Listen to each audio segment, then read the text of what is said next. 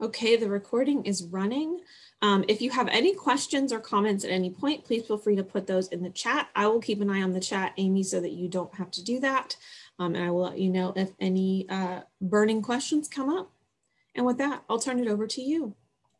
Awesome. Well, I'll say first that I'm not totally sure how long, how much content I actually have. So I hope that people have questions um, because I wanted to make sure that this was really addressing the things they all wanted to know about the most. Um,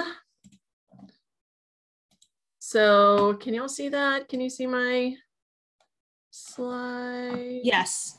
Okay, awesome. Thank you. So this is called Krafting the Mac. Um, I just feel like I should say this. Um, and I realize this is not going to be written in any book or anything like that, but I totally came up with the name for the Mac. Um, so I just wanted y'all to know that. Thank you. Okay, so the first question is why is Amy talking to us about this? And I mean that like, why is Amy talking to us about this? Not why is Amy talking to us about this? This is important. But so, kind of like Jenny said, um, I have also been involved with, well, I've been on the General Education Council forever. I probably should have looked it up to see when I started, but it's been a really long time. I can tell you that.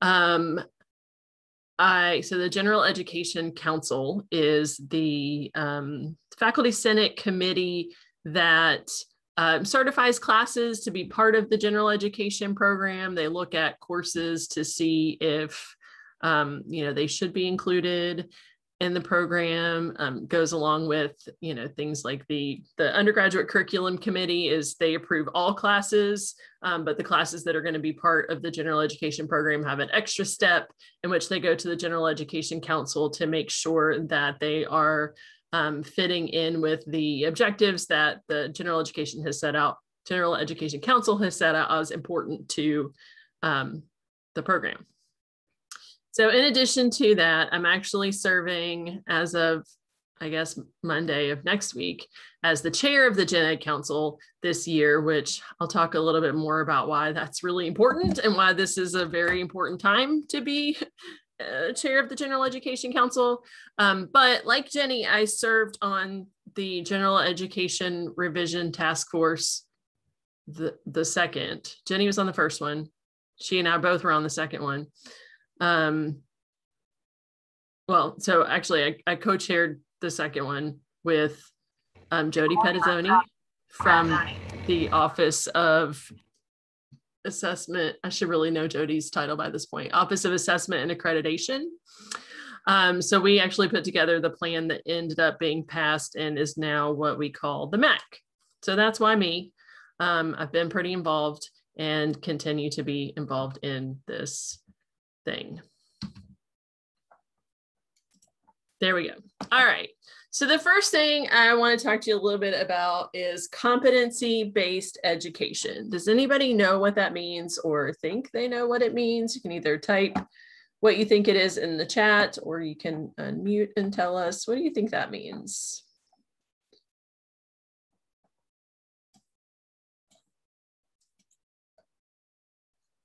Oh yeah, Leah Jody is awesome, by the way.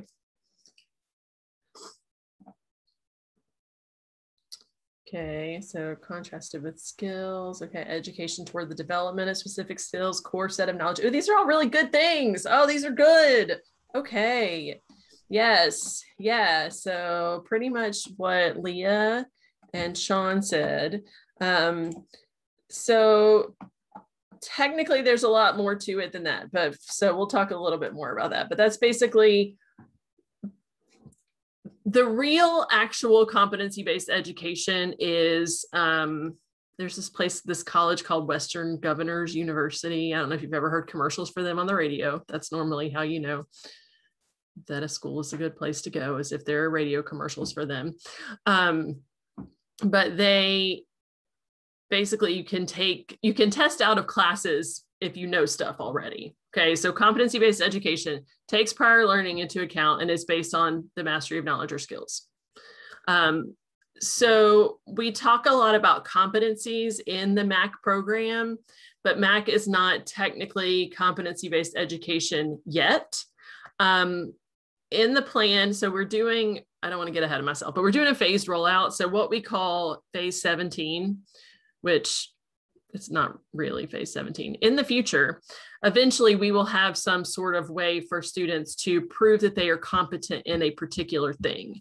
And that would mean that they would be able to um, to not take specific classes. So as the example that we use typically um, is if someone had worked in an accounting firm for 20 years and never got a college degree when they came to college they wouldn't have to take a math class because they already know how to do math. I mean they would have to prove it in some way. Um, but the logical conclusion to competency based education is that eventually if you already have the competency you wouldn't have to take the class in college. So keep that in mind um, but also, when we talk about what competency means to us at UNCG, it's the set of knowledge or skills that we think are important for UNCG students to have. So that's my next question to you. What are skills or knowledge that you think that students should have when they graduate from college? Like, you know, you don't have to type like student learning outcomes, but what are some things that you think students should graduate from college with knowledge of? Is that a weirdly stated question? Critical thinking. Wow, Sean's good at this game. Writing, yes.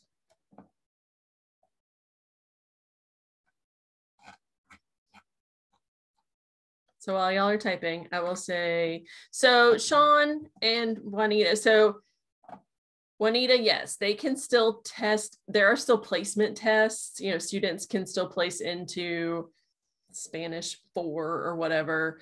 Um, that is still a thing, but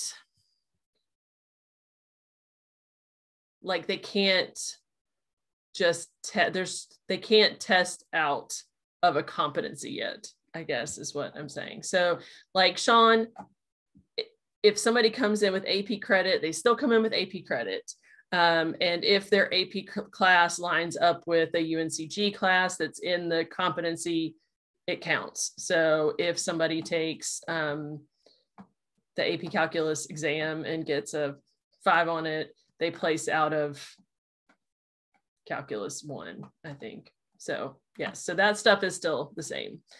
All right, so we've got critical thinking, writing skills, knowing another language, speaking skills, cultural competency, research process. Okay, so those are all great and pretty much all of them, with the exception of knowing another language, which we'll talk about, um, are included. So yay, y'all were right. Good job. So now we're going to talk about the Mac. And yes, that is a giant wheel of cheese. I hope you're sensing the theme at this point. Um, so the MAC stands for Minerva's Academic Curriculum. And I will be really honest, that's sort of a backronym.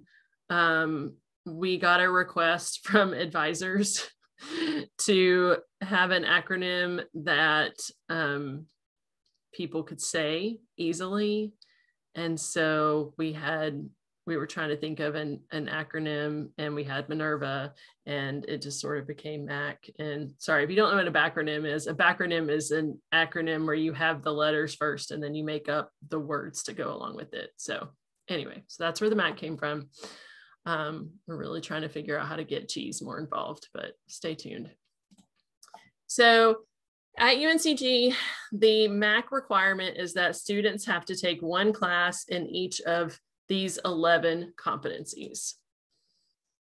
Um, just so you know, for space, um, the so I, I had to shorten a little bit just to warn you that that's what we did. So the CTI is critical thinking and inquiry. Um, so six is critical thinking and inquiry in the humanities and fine arts. Seven is critical thinking and inquiry in social and behavioral sciences. And eight is critical thinking and inquiry in the natural sciences. Okay, sorry, all my words wouldn't fit um, with a beautiful picture of macaroni and cheese. So I made a decision and I hope that you're all okay with it. So basically to complete the MAC program, they take one class in each of these competencies. Um, if you do that math, that is a total of 33 or 34 hours. And I can explain the 34 hours.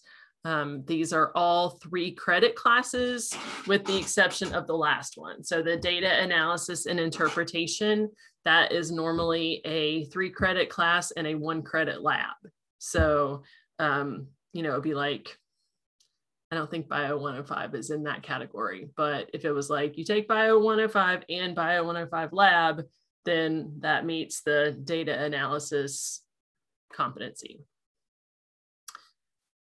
So yeah, so one question that you may be asking yourselves is, where's information literacy? That's clearly the most important thing that students need to know. And the answer is it's actually in two places. It lives in foundations and it also lives in health and wellness, which I'll explain. It makes sense. So, a lot of these things, if you're at all familiar with the current general education program, a lot of these things sort of map over from there. Um, you know, quantitative reasoning, that's math. We have math in the current program, we have math in the new program. Um, but this is actually, again, I don't know how familiar y'all are with the current program, but this is way less complicated than what we had before. Um, it was, there were markers, there were, um, it was just, it, it was, if you asked somebody how many hours our current, our former general education program was, they couldn't actually tell you. This one, 33 to 34 hours. It's very straightforward. Um, so yeah, so that's what we have going here. So just to give you a little bit more information about the CTIs, the critical thinking and inquiry, one of the requirements from um, SACS, SACS is our accrediting body, SACS COC, is that we offer breadth in our um, general education program. They don't have a lot of requirements, but one of them is what they call the breadth requirement. So um, basically, they don't want students to take all 11, you know, all, that whole general education program from one discipline. So the um, critical thinking and inquiry classes are sort of our way to make sure that students are taking a humanities and fine arts, a social and behavioral science, and a natural science. Part of the reason that we went this route and that these are sort of broad is that we wanted the whole campus to feel like they could be a part of it. Um, and one thing that I didn't do that I should do if we have time is I'll pull up some of the classes that have been approved um, under the new Gen Ed program, and they sound really awesome. So I'm really excited um, that people have kind of taken this and, and run with it. I mean, one of the things that we wanted to do was we wanted to say, um, written communication can totally be taught by the English department, but other people know how to do writing too. Um, you know, global engagement, that's probably language classes, but you know what? Other departments do global stuff too. So they can be part of the part of the party as well. Um, so, you know, we try to make it so that students could kind of get these competencies in interesting places. So we'll talk more about that. Oh, Sorry, I keep forgetting how to advance my slides. There we go. Okay, so now we're going to talk a little, well, actually, hold on. Let me go back. There we go. So what, do y'all have questions so far about this stuff? Sam, it is a billion percent easier. It just, it is. It's so much easier. What, Amy can ask one question? We talked yeah, totally. AP exams and things can AP exams or any other credits supplement these requirements, or do these requirements have to be taken at UNCG classes? Like nope. if I have an AP history, is that critical thinking in humanities? It it is, yeah. Um, and it depends on like we have a chart. there are charts for everything. So yes, depending on what the AP class is, like if you take AP psychology, that's going to come in as your critical thinking and inquiry and social and behavioral. So yes, yep. So that that still happens. So things can can still transfer in as these competencies. Same for community college transfers. Um, if students take English 101 at the community college, that comes in as their written communication. So yes, so yeah, all that stuff is still in place. Um, and actually, it's interesting because in the former program, we didn't have health and wellness. You might have known that. Um, but our community college students came in with health and wellness credits. So before, those credits just kind of became elective credits, and now they're actually useful. Um, and also, when we were you know coming up with this plan we did a lot of research and talked to a lot of people um, and health and wellness was a competency that students really wanted. Um, it created some interesting discussions because i think that that faculty have a lot of ideas about what general education should be. Um you know there were definitely people who wanted there to be i mean this is I'm going to be overly obtuse here and say, like, you know, everybody should learn Latin and, you know, read Plato and, you know, that sort of stuff, which is important. And students can choose to do that here. But um, health and wellness was seen by some as like PE class. It's not PE class. Like, you can't actually take a PE class um, for health and wellness because it has to be three credits. Um, there are PE classes well, there are classes with physical components that are in the health and wellness competency, but you also have to learn stuff. So um, that was a, a callback that we had many times is like, I'm just going to learn to play basketball and that's going to be my health and wellness credit. Um, it's not, it's not what we're doing here. There is actual academic learning involved and actually information literacy. Um, I have a question. Yeah. Okay, so when you take a class at GTech um, and it transfers in, do you get the attributes? Yes. Yeah. So yeah. So this this all works with the articulation agreement that we have with um, every community college in North Carolina. So yeah. So the classes that you take in um, at GTCC transfer over as MAC requirements. Yep. Okay. But so like I know when you take an AP class, you don't get the attributes when they transfer in. You just get straight up credit, but you don't get like the markers or the attributes. Yes, I think that's yeah, I think that's right. But if you take the class at GTech, would you get those markers and attributes when they transfer? Yes. Yeah. Yeah, there's a yes. Um, we're still working on mapping everything to the articulation agreement, but yes, yep. They, so that would be a benefit to taking a class at GTech versus taking it as an AP. Yes, definitely. Yeah. Thank you. Uh huh. All right. Anything else? And we can ask you can ask questions later. Okay, so now we're going to talk a little bit about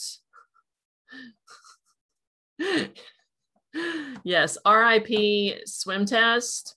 Um, so markers and attributes and are actually they're terms that are Ann Simons, not Ann Purdue, who knows what they are because she asked about them. So those are terms that we use with the current plan. Um, well, the soon to be former plan, the general education plan, because there were like classes that you had to take, and then there were sort of markers layered on top of them. Um, we've all tried to strike the word marker from our um, our vocabularies because it's not it's so complicated. But yeah, so basically you just have to fill in the list. Like we're we're yeah, they're just they're uh, they're just competencies and um that's how we're referring to them now. So that's confusing. But yeah, so markers and attributes are part of the current plan. Now we're just calling them competencies. Um, yeah, okay. So now we're gonna talk about the rollout. Try to find a wheel of cheese. This was the best I could do. It's a lot of cheese though. So this turnaround has been really fast. Like this program was voted on by faculty senate in October of 2019.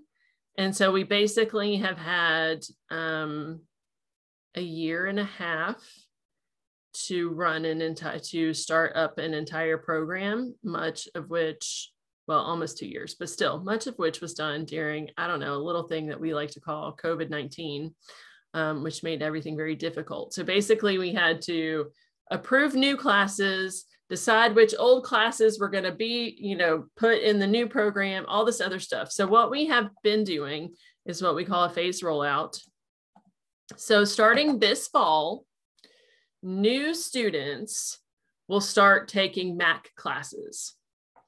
So just to show you, I'm going to switch gears for just a minute. Hold on. Um, sorry, I'm trying to Google and talk at the same time, which is not a good plan. All right, let me grab. And actually, I was just dealing with a question about this today, so it's fresh on my mind. All right, I'm going to stop sharing for just a second. And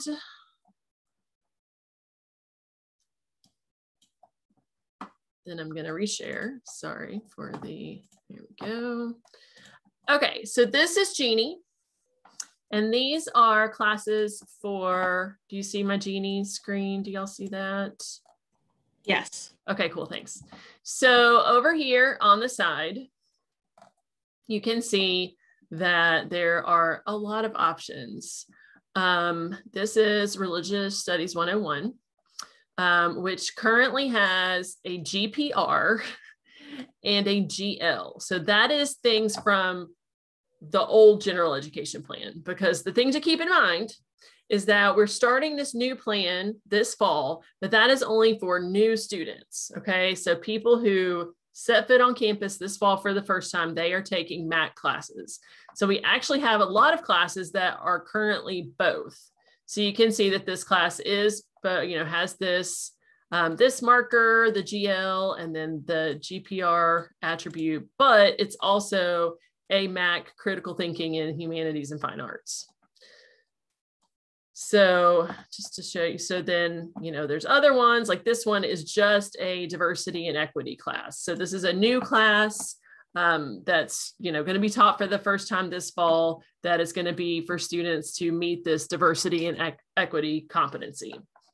But again, there are these, there are a bunch of classes that do double duty for right now um, because technically we're running two programs until all the students who are on the old gen ed program graduate. So actually, I can't remember what department it is, but sometimes you'll even see um, things in Genie that say Aller, and that's the gen ed program before our current gen ed program. So that's like two programs ago for in case somebody came here in the 90s and then comes back, we have to figure out what to do with them. It's a mess, y'all. This is it's a bureaucratic nightmare. Um, so you can see that a lot of these classes are sort of doing the old and the new at the same time. Um, but actually, I sort of picked religious studies. I should have picked, uh, hold on, let me try this again. Philosophy, because they have the cool stuff, I think, in my opinion. So philosophy is doing a lot of very interesting things. Um, they, of course, are doing critical thinking in humanities and fine arts, um, but they're also doing a bunch of foundations classes. So, foundations classes are new. Um, I mean, we've always had sort of university acculturation classes, uh, but this is the first time they're going to be required. So students can take a class like FYU 101, you know, kind of get to know UNCG, or they can take philosophy of education, which is a foundations class, or minds and brains, which is a foundations class. Um, so there's, you know, there's a lot of cool stuff like that. And see, they're also doing, you know, philosophy of race and gender is a diversity and equity class. Um, I'm trying to remember where their health and wellness one is they have a health and wellness one as well, but I can't remember what it is. Like So there's a lot of really interesting classes that are being taught that hadn't been taught before. Can't remember if they did sex, drugs, and rock and roll, or if that was um, it might have been religious studies. But anyway, so um, so these, you know, we kind of have these two programs running at the same time, and you know, students will be taking classes to meet one or the other. It's it's confusing, but it's fine. All the information you need is right there in Genie. So sorry, I'm going to reshare again. There we go. Um, so students who are here already at UNCG can switch to the MAC program or they can stay on the current program. And advisors have had a lot of training. We actually have a um, a program that allows them to sort of do like an analysis to see which one they're closer to finishing. Um, so if they find out that they, you know, should stay on the old one, then they just stay on the old one. Um, or, you know, maybe they've only taken a couple classes in general education and maybe they decide to switch to Mac. Um, so that's going to be we're we're ha- we are offering a lot of flexibility this year as we're sort of switching from one to the other. We are still adding classes. Um, I mean, not for this fall, but the General Education Council will be working um, through the fall semester to get additional MAC classes um, scheduled for spring and also, you know, next fall um, to make sure that we have enough seats for them.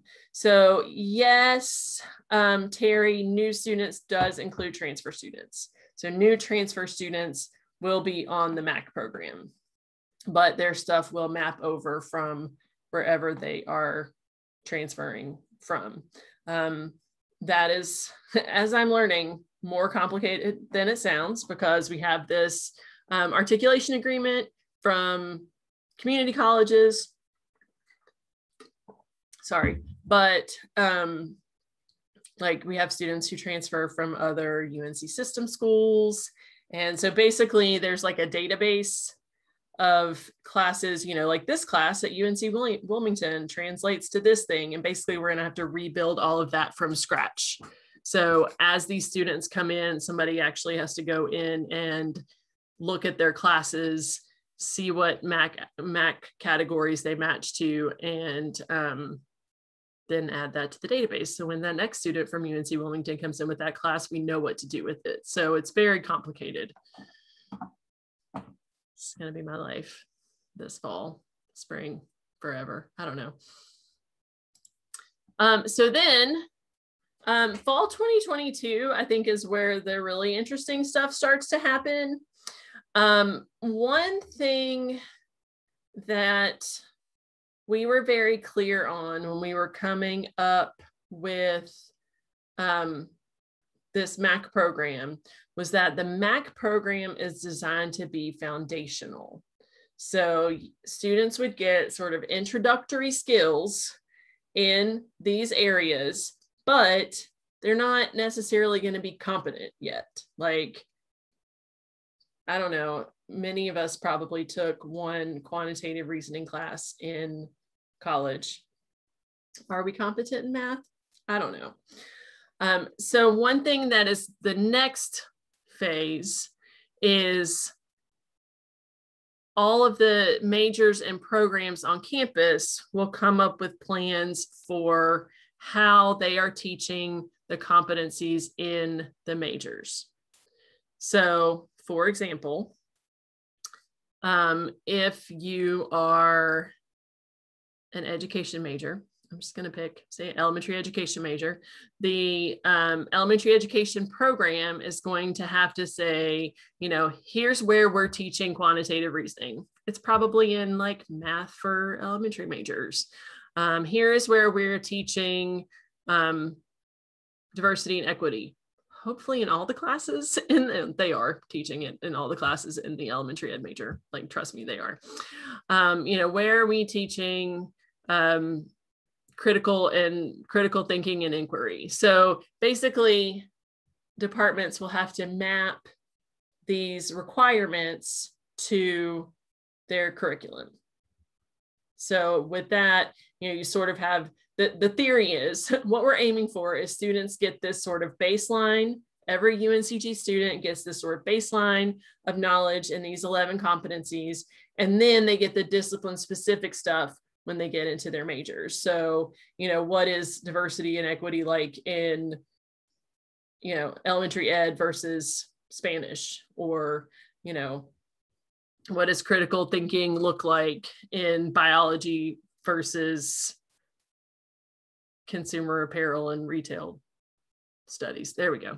So um so yeah so it sort of it carries on from the baseline into the majors which i think is really cool um, because we have decided as a campus that these are the things that are important to us. And so, you know, we want to make sure that students are getting it throughout their time at UNCG, not just one three hour, three credit hour class they take with their freshmen. The other thing that I'm excited about, and I'm really hopeful this is going to happen, is something we call thematic clusters. So thematic clusters will be like a, a program where students can take multiple MAC classes that have sort of the same theme. So let's see. I mean, it could be like um, North Carolina could be a theme. And maybe you could take like a foundations class. It's like introduction North Carolina. And then you could take your natural, your CTI natural science is like the plants of North Carolina. And um, maybe your diversity and equity class would be like the history of civil rights in North Carolina or something like that. So the idea is that students are cohorted into these this cluster of classes where they can you know kind of develop community and also learn about things that are interesting to them. So i think this is really cool.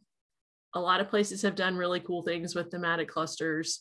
Um, so i'm i'm hopeful that we can get some interesting things. It's kind of like for those of you who have been around for long enough when we went through that living learning community thing, which was great and which I, I am on board with.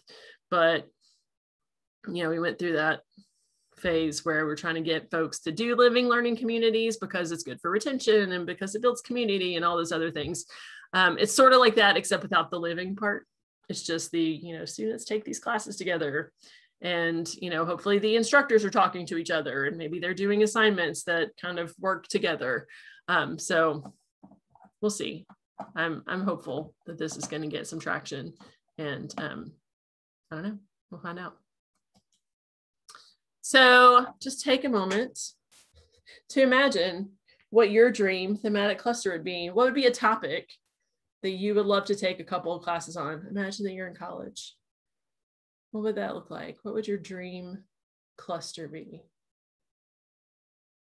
Yeah, it's sort of like magnet school, Sean. You're right. You get one theme, you pick a thing that you're interested in and yeah you can take a couple classes on it anybody have a, a dream cluster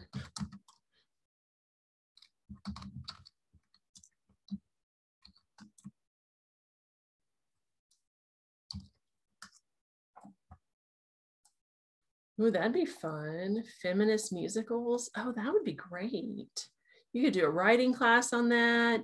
You could do obviously your humanities and fine arts on that. That would be really cool, Sarah. I think that'd be awesome. No, I don't think that environment and the outdoors would be too broad. I think that could fit into all sorts of areas. I think that would be really cool. Um, I would vote for TV and movies also. Um, Sean, you could do all kinds of stuff, right? You could do writing, you could do like criticism. Um, there's all kinds of cool stuff that you could do. Yeah, no, I think that would be really cool. Also, the thing I like about the foundations class is that there's some, there's a lot of wiggle room in there. um, so you could, um, you know, you could take like a, a foundations class that the theme was reality TV or whatever. And then you could, um, you know, just learn about TV sort of in the in the like and learn about all the UNCG stuff too. So that'd be really cool. I love that idea. Um, so yeah, there's a lot of cool possibilities. And like I said, I'm really hoping that some faculty get really into it. Um, it's been interesting to see folks get into um, some of the competencies. So I'm hopeful that they'll get into that as well. This is the point at which I ran out of mac and cheese pictures. So we switched gears a little bit to um, it's like marinara sauce. Not everybody likes cheese. I don't know who they are. not everybody likes cheese. Okay, so now it's time to talk about Mac and the libraries. And this is really the picture that makes me hungry. Apologies in advance to vegetarians. Sorry, Jenny. Um, yeah, no, that's true. And that's why it's just mac. It's not cheese. Not everybody likes cheese. All right. So, what does this mean for us? What a great question, Amy. I'm glad you asked it to yourself. So, currently, here, I'm going to switch screen shares again.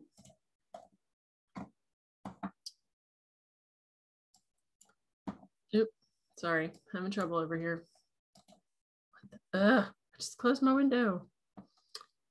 Um, not cooperating.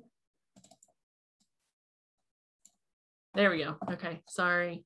Thank you for coming, Sam. I know you're you're into this. I appreciate you coming anyway. Um, okay, so this is the Mac website. Can you see the Mac website? Sorry, I keep asking. Yes. Okay, thank you, Jenny. Um, it's I'll, I'll share the slides at the end. It's mac.uncg.edu. So what you can see here on this page, I'm going to be honest and say there's it's not complete. There's some information that needs to be added to this page. So as I mentioned before, um, information literacy is explicitly a part of the foundations competency. So you can see here um, the first couple of student learning outcomes are related to kind of UNCG stuff, acclimation, getting used to UNCG, like, you know, how to set goals and build connections and all those sorts of things. All very important things, obviously, things that we felt were important enough to be part of this program. But then the last two student learning outcomes, thanks in large part to Jenny Dale, are information literacy SLOs. So every student who takes a foundations class will learn to critically evaluate information and media sources in a variety of formats and also incorporate and cite sources accurately and correctly. So um, as you can see, that's very, um, those are information literacy things. So that's one place for sure that information literacy lives. The other place is actually in health and wellness. Um, as you can see here, the first two are related to health and wellness. And the last two are about synthesizing information to support arguments and or informed decisions, and then integrate insight sources correctly and accurately. See that that pops up again because I think anybody who's ever been a student or worked with a student will know that integrating and citing sources is a growth area for many students, many college students. Um, also, it's really interesting when I when I sort of reflect back on this whole process when we you know started developing this program in 2019 we really thought that wow health and wellness would actually make a lot of sense as a place to put information literacy skills because health information literacy is important and it's important for people to understand how to find health information. Like that's one of those things that people are going to be you know using for the rest of their lives. But boy i'm just going to say pat on the back to members of the general education revision task force. We had no idea how important it was going to be right? I mean to me everything that's happened in the last 16 months has shown how important health information literacy is. Um, so I am actually, I don't know, very happy, ecstatic, I don't know, that we included information literacy in the health and wellness outcomes because I do think that this is incredibly important. Um, so I feel really good about that. I just have to say that. Pat self on back and pats everyone else on the back from an appropriate distance, of course. So um, as far as, sorry, resharing again. Um, so, you know, those are classes that we will likely have, you know, relationships with, you know, we may go meet with them. We will have, you know, LibGuides and maybe tutorials and things like that. Um, that you know will go into these classes and you know so that we can help make sure that students are gaining these skills in these classes like you know like they should be but one thing that we found that's been really interesting is that some of the classes that don't necessarily have information literacy outcomes explicitly they still want to work with us because we're fantastic. So in addition to sort of saying okay well the library hopefully is going to have a place in foundations and health and wellness you know we're going to be we're going to be other places as well. So you know i think it's going to be really possible that we'll still show up in a lot of critical thinking and inquiry classes because of course information literacy and critical thinking are very closely related. Um, so you know we don't know yet beyond sort of foundations in health and wellness how this is going to sort of affect the the workload of people who are involved in information literacy instruction. Um, but by golly, I'm excited to find out. So it's going to be interesting, though, to see um, to see how our our work changes um, as the MAC is implemented more fully. And of course, again, um, the thing to keep in mind is that for you know next year, with that sort of upper level competency integration, they're going to have to departments are going to have to prove that they're integrating information literacy into their upper level classes as well. So good luck to all of us. Okay, so that's all of my stuff that I wanted to show you. And again, I will share my link to my slides. Um, one thing that I will point out is the final report from the task force I actually haven't looked at it in a while, but I realized earlier today that I really needed to because we've been stuck in the weeds for a long time trying to get this thing actually going. And I need to sort of reframe myself and go back and see what we meant to happen when this all started. Um, but let me stop sharing and then I will share a link to my slides. Nope.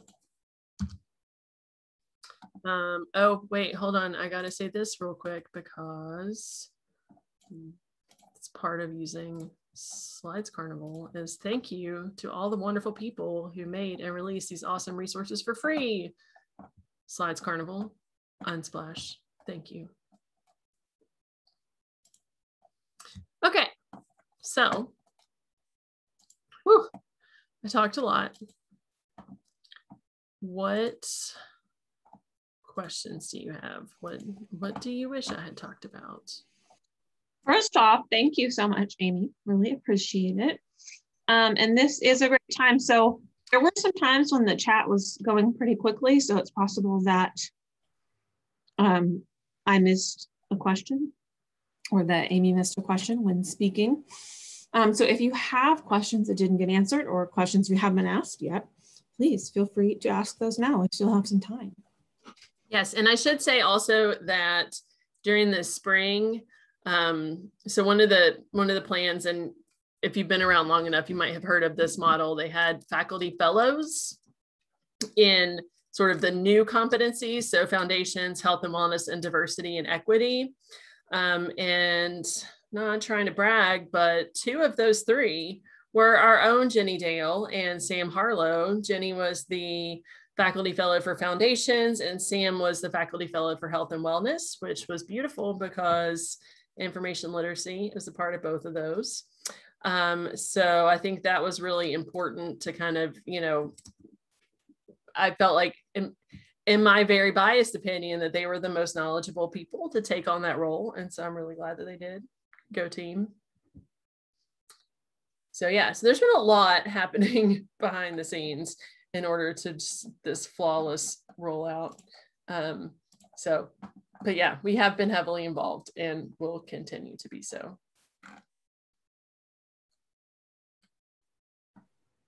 Amy, have you gotten any feedback or a lot of responses from students or faculty knowing, you know, this change was coming? Um, oh yes. You know, UNCG. I'm not shocked by things, but just curious. like, I don't know a lot about how the past was, but I'm from general consensus. It seems like this is better. So I don't know if you heard a lot. I I think from what so one of the most terrifying things that I've ever done in my life was I presented on this um, with the wonderful Jody Pettazzoni. And Dana Dunn was there also when she was the provost at a student government association meeting. And it was terrifying. Like, they are, it, that is an intense group of people. They're all dressed up and they use very strict parliamentary procedure. And they're, they're just like fantastic. Like, they're just yeah, they kind of blow your mind when they're all in the room together. Um, but when we presented on this, it was actually shortly before it was approved by Senate. They were they all gave us excellent feedback on the simplicity of completing the program and also um, on sort of what what was included and what what we were saying was important. So in that realm, we got real, you know, we got extremely positive feedback.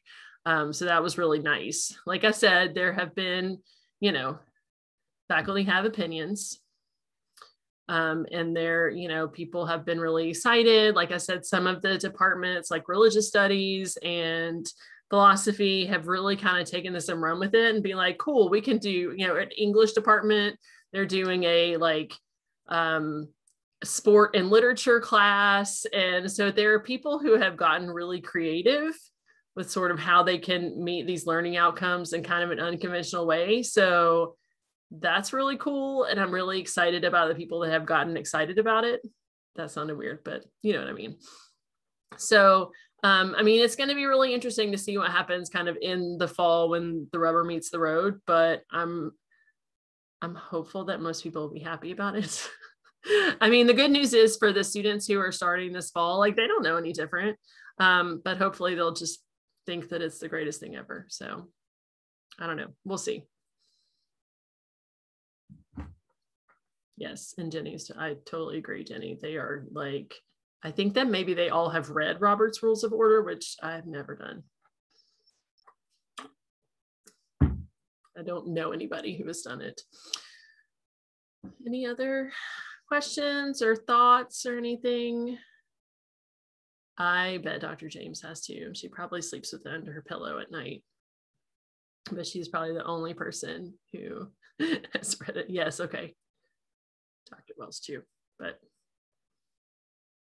all right. Well, if y'all ever have questions or anything that you want to talk about, um, or anything that comes up, please let me know. Like I said, I spend a lot of time on Mac um, between being the Gen Ed Council chair and also um, I serve on the implementation committee, which I didn't even talk about because that's more stuff to talk about.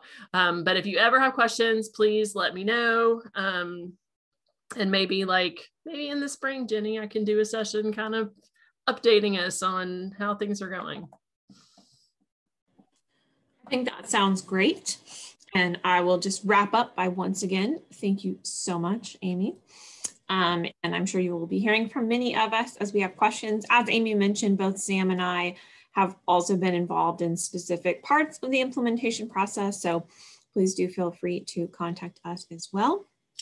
And with that, it's getting really kind of overcast here. I'm wondering if there's a storm coming. So I'm gonna go be um, be on chat and and kind of keep an eye on the world outside and see what's up. All right, friends, thank you so much. And thank you particularly to Amy. And uh, please keep an eye out for this recording to be up on the ULVLC LibGuide and keep an eye out for an email from me later this week about what's coming up. Bye. Bye, y'all.